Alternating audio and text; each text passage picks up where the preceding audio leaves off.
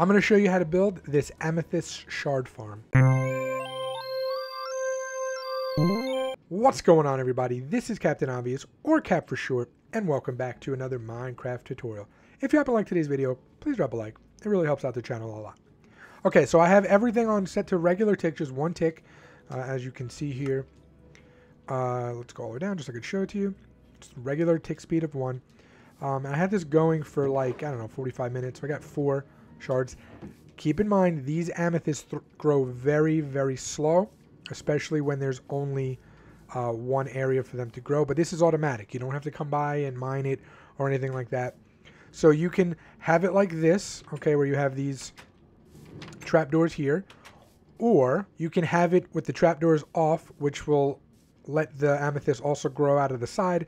These, however, will have to be mined by uh, by hand, but it does double the output of the of the growth because not only will they grow on the top part, but they'll also grow on the side. So that's up to you if you want to come by, if you want to save like a fortune. Uh, excuse me, is it fortune? Yeah, the one that gives you whatever it is, fortune or the other one. Um, pickaxe to uh, to be able to mine it manually. That's up to you. I'm going to show you with the spruce trap doors. That's the way I like it. But again, that's entirely um, up to you. So you can have it you can have it either way. Okay, uh, and essentially what will happen is there's four growth stages. So those observers using a system that we got under here to detect. It'll detect all of the growth stages. Once it gets to the fourth one, the piston will push it down. Uh, and then there's a minecart underneath with the hopper that actually collects it. It will go into uh, the system right here, the barrel, and then uh, the piston will push down again, and that will reset the farm. So that way the observers have uh, have everything set back to zero. So that way it can observe the four uh, the growth stages. Okay, so it's pretty cool. Uh, there's a very similar system, actually the exact same system that I used for my um, the pumpkin farm, the uh, auto carving system. Very, very same um, mechanic, uh, but it's very, very useful, especially for this. Okay, so let's just get into what you need and how to build it. Here's everything you're going to need. Okay, now the the amethyst shard is just to go inside of the item frame. You also don't need a glow item frame. You can just use a regular one. Um, but so you can actually just save this if you don't have it right away. You can get afterwards. But you're, you're going to need about a stack of stone brick stairs, you're going to need some dirt. I don't know. Take a stack if you have it. I just put 20 in there. Flower pots and the allium are just for decoration. Three stone brick slabs. Although, if you want to cover the top, if you want to cover the top, you would need probably a half a stack of those. Uh, I left it open so you can see what's inside, but you can also cover it. So either take 35 or three. Uh, one hopper is all you're going to need. Two red, uh, seven redstone comparators, eight torches, I have eight uh, uh, oak trap doors. Those are for decoration. 42 observers, so it does take a lot. But keep in mind, this is automatic. This is not something you have to mine by hand. You're going to need the budding amethyst, seven of them. Make sure that it's the budding amethyst and not the amethyst block. Those are completely different, so you need the budding one. About two stacks of stone bricks. Seven purple stained glass panes. Seven lamps. You don't even need the lamps. I like them just because it's it's really cool when it goes off. But again, you, they're not necessary. Lanterns for decoration. You're going to need one minecart with hopper, seven powered rails, a barrel, or you could use a chest or a double chest. I'd say just stick with a barrel. 14 pistons. Shroom lights, again, just for decoration and added light. Not necessary. You can use any light source if you want, or just no light source. Uh, you're to need 14 repeaters, 14 droppers, and you're going to need uh, 8 spruce trap doors, unless you're going to go with the original way that I said, in which case you don't need them. Okay? First, what we're going to do is you're going to put down a stone brick block, you're going to count seven. So one, two, three, four, five, six, seven. You're going to put down another one. Okay. Then what you're going to do is you're going to dig out those blocks like so. You're going to dig two down under here. Okay. And you're going to put one of the torches. And then you can just put uh, any block you want back. I'd say just use the. This is going to be covered, so you don't necessarily need to use the stone brick. Just put whatever you just had there. Okay, go straight across with your uh, powered rail, except for that middle block. So one, two, three. On that fourth one, you're going to turn around and you're going to put that dispenser. Here we go. You're going to put that dispenser right up against that block. I don't know why I just did that. Actually, put down the barrel. So barrel, and then crouch and place your hopper, and then go ahead and you can put your rails back on top. Okay. So that's where the barrel is going to be right there. Then what you're going to go ahead and do is you're going to put your minecart with hopper and it'll just take off like that. We're then going to take a spruce trapdoor, crouch, place it, and put it up. Okay, like so. Then you can come over here with your stone bricks and go one, two, three, like that. One, two, three, like that. And then the back, I didn't do anything with the back, but you can go ahead and, if you want, and just go like that so you don't see dirt when you're looking inside. That's entirely up to you. I'm also going to cover that really quick. Okay. Now what we're going to do, we don't need that, that, or that anymore. Uh, we're going to take our, here it is, our budding amethyst. We're going to run it across like so. Okay, I'm, like I said, I'm going to take the trap door and I'm going to put it there just so nothing grows. Okay, we're going to go behind it and we're going to put regular blocks like that. Now we're going to take our, our observers and we're going to do one row of observers going across just like that. Then we're going to take our piston, uh, uh, not our piston, sorry.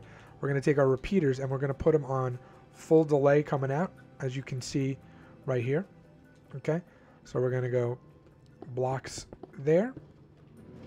We're going to take our repeaters and put repeaters on every single one of these to full. Okay, then we're going to come here. We're going to put blocks there, blocks there, just like that. And actually, you can do two two rows of observers for this row and then more blocks going across like that. Okay, do another row just like that. And then what we're going to do is we're actually going to take our droppers. We're going to face the droppers going up. So one, two, three, four, five, six, seven. Can use dispensers. They're a little more uh, expensive, so I don't know I'd want to. But then you're going to run the, these droppers. The top droppers have to face down. Okay, so you're going to run them just like that. Oops. So the you have the bottom droppers facing up, the top droppers facing down. Okay. And then what you're going to do inside each of these bottom ones, you're going to take, uh, that's why we needed the dirt. That's what you do need a whole stack. Okay, and then you're just going to put four. One, two, three, four. And you're going to do that for all of the bottom ones. Okay, now what you're going to do is you're going to come here, and put another uh, row of blocks, and then you're going to put comparators coming out of that. Okay, then you're going to do blocks, blocks, and now we're going to put torches on top. Actually, we don't need this anymore. Okay, so we're going to put torches right here, like so. On the top of those torches, we're going to put pistons facing this way, so you can just run the pistons out like that. Okay, now coming out of the pistons, we're going to put a block of air, and then you're going to have more observers facing out. So you just put, oops, you just got to crouch and place the observers like this all the way across. Okay, coming out of these observers, so where the red is, you're going to put uh, more of the um, repeaters set to full, and then you're going to have more observers, two rows of them to be exact, coming out like this and like that. Okay? And then what we're going to do, this is actually where you're going to be putting your redstone lamps running across. And then underneath the lamps, we're actually going to be putting our pistons like that just like that there. Okay. Now, if at any point you had some growth, because now the system's set up, if at any point you had some growth, you would just have to really quickly um, re replace the, just in case you had the growth before you, you hooked up the whole system. So when there are four in the bottom, four dirt, that means there's nothing here. So let's say while you were building this, you had a growth here. Okay, let's say something grew right here, and it was only the first stage, the small one. What you would have to do is find that row. So let's just use this first one as an example. So this is the first row. We'd have to come to this right here. You would have to take out uh, however many it is. So if it's only a growth of one, you would take out one from here and you'd put it in this top one. You shouldn't have it grow because they don't, like I said, they do not grow quickly. You can have a couple of days of Minecraft in-game time go by before you even have one. So just keep that in mind. Don't tell me, oh, it's not working. I promise you guys it works. Okay, it's just very, very slow. Because normally, if you would just have this, an amethyst up right here, it would be able to grow on the bottom, on the side, on this side, on the front, on the back, on the top. Okay, so you'd have six different areas for it to grow. We're limiting, we're limiting the growth to just one. So it's going to be six times slower than just having, than just having it a block like this. But this way, you'd have to mine it manually. This way it does it automatically. I prefer the automatic way, so it's going to go a little slower, but if you put it in a high traffic area or an area where it's always ticking, it's going to work. Okay? So yeah, like I said, if there's nothing here, there should be four inside all of these. If it was the first level of growth before you had a chance to hook this whole thing up, then you take out one. You know, you would just you would just put it based on how it is. Okay, so if it's fully grown uh, at four, this should actually be crushing it. So what you'd want to do is just take this out really quickly, let it crush it, and then put it right back in. Okay, so that's that's just a little ca caveat, just in case you're like, oh, it's not working. Uh, you just want to make sure that once you once you hook all of this up, just come here and make sure nothing is grown. Okay, or you could simply break it, get nothing from it, and then reset all of these to four again. That's entirely up to you. But the way you want it to work is when there's nothing here, there has to be four in all of these droppers. Okay, and then what happens is as it grows, it's going to get transferred from this hop one at a time. It's going to go from there to there. So if it's on the first level, it'll be three. If it's on the second level, it'll be two here, two here. If it's on the third one, it'll be one here and three there. And then if it's on, if it's a, once it's a full cluster, it'll take a second. This will go from uh, one to zero. This will go to four. As soon as that is fully at four, it's going to activate this piston. The piston will push it, push it down uh, twice. It'll because it'll it'll the observer will read it going down and going up. That'll take these two, two from the four, put it back down here two, and then it'll go again, one, two. That'll remove the last two from up here back down to here, and it'll always reset to four. Okay. Hopefully that made sense. That might not be that might not have made sense, but I promise you it works. Okay. And then all we're going to do now is uh, we're going to decorate it. Okay, so what we're going to do is on the sides, we're going to come up just like that. So two more. Okay, we're also going to go back here on the side and go diagonal. Go one, two, three. Same thing on this one. One, two, three. And then we're simply going to put these uh, stairs on all of these sides here, just the top and the bottom. Okay, leaving the middle one open, just like this. And then what we're going to do inside the middles, that's where the that's where these come into play right here. Okay, so we're going to put oak trap doors, one, two, just like that. And you do, you're going to do that on all the corners. Okay, so what we're going to do, again, you can take your glow item frame or your regular item frame. You're just going to put it there with the shard in it, just so, uh, you know, you see, excuse me, where the uh, where it goes. I like it. I like, or you see what this is? I happen to like the, the glow item frame. Uh, if you want, you can replace these corners with the shroom lights. That's what I did. That's entirely up to you. Okay, and then we're gonna we're gonna take our purple stained glass panes. We're gonna crouch, and we're gonna put them on top, right on top of these trap doors right here. These spruce trap doors. Okay, and you're not gonna be able to fully go, but it goes there. And what that does, besides decoration, it also prevents these shards from popping all the way out, so they get picked up by the minecart. Okay, so just uh, just keep that in mind. And then on the sides, all you're going to do is you're just going to cover it. So one, two, three like that. And on the back. Okay, and then do the same thing on the other side as well. Okay, now what I did on the side was I went like this and like this for where right next to the lamps. And then again, we're going to go up one more. Just like that. We're going to put a stone, oops, we're going to put a stone brick here and here.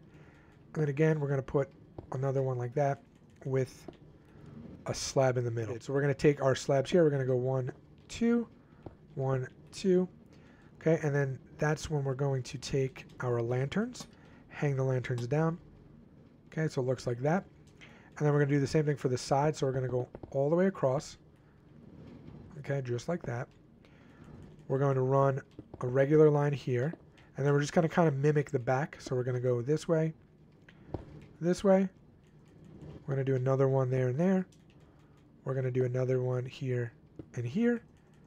And then another one there.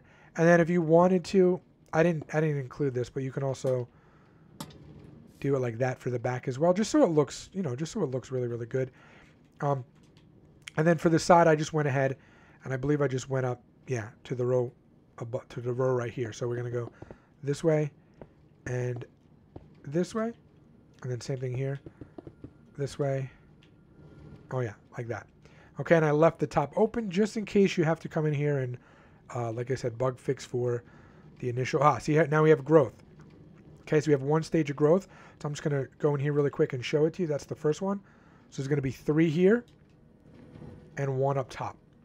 Okay, So for every stage of growth, that's the first row, it's going to take one of those pieces of dirt from the bottom and put it in the, the top uh, dropper.